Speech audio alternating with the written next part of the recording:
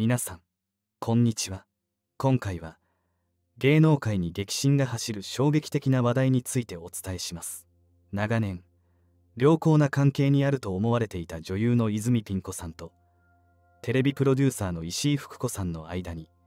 深刻な亀裂が入っているという驚きの事実が明らかになりました。ぜひ最後までご覧いただきコメントいただけると嬉しいです。この問題の発端は2024年9月2日に開催された石井福子さんの98歳の誕生日会でした。女優の三田佳子さんがブログで報告したところによると台風の影響にもかかわらず約50人もの著名人が集まった盛大なパーティーだったそうです。しかしそこに泉ピン子さんの姿はありませんでした。三田佳子さんはブログ「よしこのガラパゴス UFO」でこう綴っています。台風の影響でいつも通りとはいかなかったけれどそれでも50人ほど集まっての大パーティーとなりました。先生は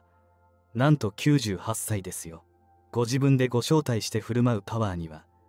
敬服するばかりです。井上淳さんの全てを飲み込んでの名司会は一層場を盛り上げてくれました。この出来事は泉ピン子さんと石井福子さんの関係が絶縁状態にあることを如実に物語っています。芸能ライターによると若手の姿も見られました。脚本家の橋田壽賀子さんを追悼したドラマ「ひとりぼっち」人と人をつなぐ愛の物語に主演した相葉雅紀さん。上戸彩さんも参加していました。しかし案の定ピン子は呼ばれなかったようです。やはり橋田さんの件でピン子とは絶縁状態が続いているようです。とのことです。ではなぜ2人の関係はここまで悪化してしまったのでしょうか？その原因は2021年4月に亡くなった脚本家橋田壽賀子さんをめぐる一連の出来事にあります。橋田壽賀子さんは生前泉ピン子さんと親子のような関係だったとされ2人で旅行に行くほど親密でした。泉ピン子さんは橋田さんが暮らしていた熱海に転居するほどの親密さでした。モノクロテレビ。しかし橋田さんの死後泉ピン子さんの言動が大きな波紋を呼ぶことになります。泉ピン子さんは橋田さんの葬儀や遺骨に関して様々な発言をしました。例えば葬儀は質素に済ませたので費用は総額35万円。遺骨は豪華客船に乗って海に散骨したなどと述べましたがこれらの発言は橋田文化財団によって全面的に否定されました。さらに泉ピン子さんは週刊誌のインタビューで橋田さんの遺骨を食べたと語り大きな物議を醸しました。その時亡くなった時は涙が出なかったけれどお骨になったままを見たらもう止まらなくなってしまって私気づいたらお骨を食べていたんです。自分の一部にしておきたかったのだと思います。この発言は多くの人々に衝撃を与え不適切だと批判されました。これらの一連の出来事に対し石井福子さんは週刊誌上で泉ピン子さんを嘘つき村の村長さんと厳しく批判しました。長年の盟友であった橋田さんの死をめぐる泉ピン子さんの言動に石井さんも我慢の限界を超えたようです。泉ピン子さんの言動の背景には彼女の複雑な人間性があるようです。かつて所属していた芸能事務所の関係者は次のように語っています。ピン子は渡り鬼の収録現場で先輩女優や男優にクレームをつけたり新人女優をいじめたりしていたことがメディアに報じられると泣きながら橋田さんや石井さんに弁明していました。石井さんは見抜いていましたが橋田さんの手前それについては何も言わなかった。しかし後に橋田さんも亡くなる4年前に出演したテレビ朝日系ビートたけしのテレビタックルでピン子の関係を聞かれた時に全然友達じゃありませんと答えていましたから気づいていたんだと思います。また橋田さんの遺産をめぐっても問題が発生しました。橋田さんは遺言書で財産は橋田財団に寄贈しますと明記していたにもかかわらず泉ピン子さんは私は橋田先生に一番愛されていたし私が先生を見とったのだから財産をもらう権利がある。と主張しました。これらの言動は泉ピン子さんの周囲の人々との関係を悪化させただけでなく彼女の仕事にも影響を及ぼしているようです。番組制作会社のプロデューサーは次のように語っています。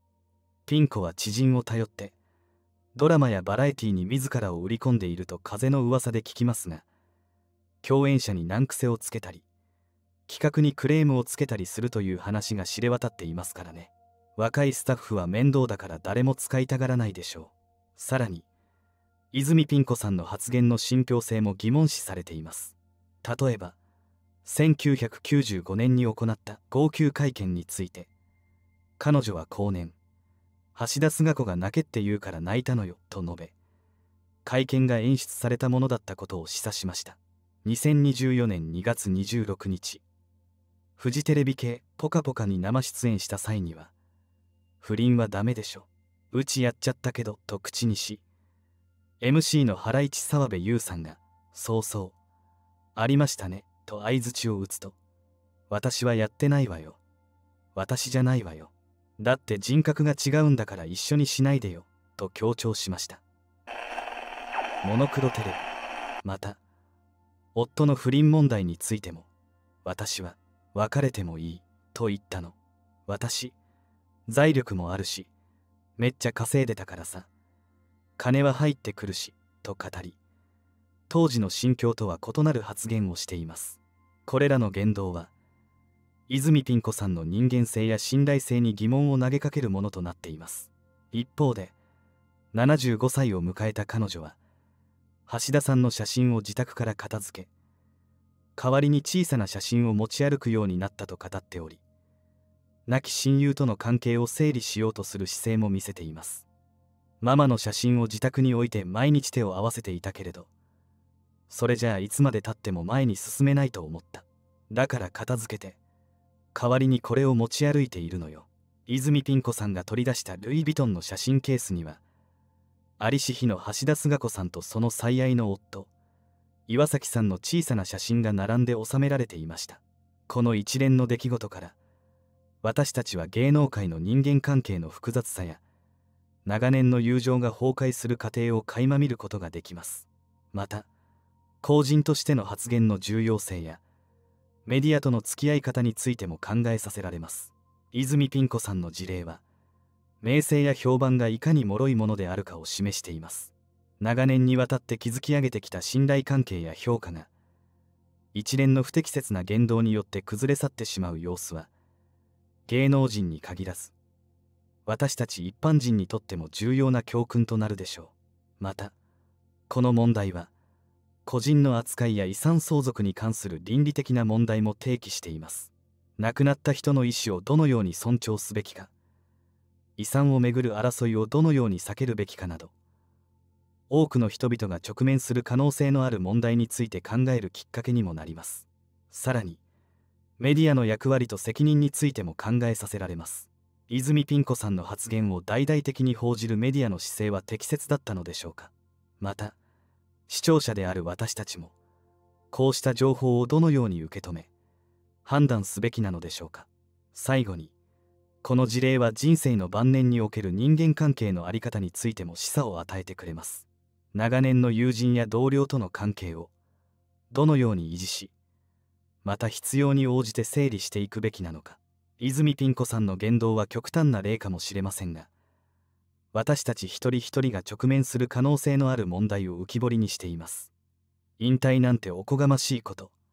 考えたこともないです。芸能界からも人生からもいつの間にかフェードアウトできればいい。人間は孤独なものだからひっそりと消えていくのみ。その日まではおかげさまでの精神でベストを尽くすだけですという泉ピン子さんの言葉は彼女の人生観を端的に表しているようです。皆さんはこの問題についてどのように感じましたか？芸能人の私生活や言動に対して私たちはどこまで関心を持ち判断を下す権利があるのでしょうか？また長年の友人関係が崩壊していく様子を見て自分自身の人間関係について何か考えさせられることはありましたか？この動画を通じて芸能界の裏側だけでなく人間関係の複雑さや公人としての責任メディアリテラシーの重要性など多くのことを考える機会になったのではないでしょうか。今回の動画の感想や扱ってほしい話題があればコメントいただけると嬉しいです。そしてこの動画が良かったら高評価チャンネル登録よろしくお願いいたします。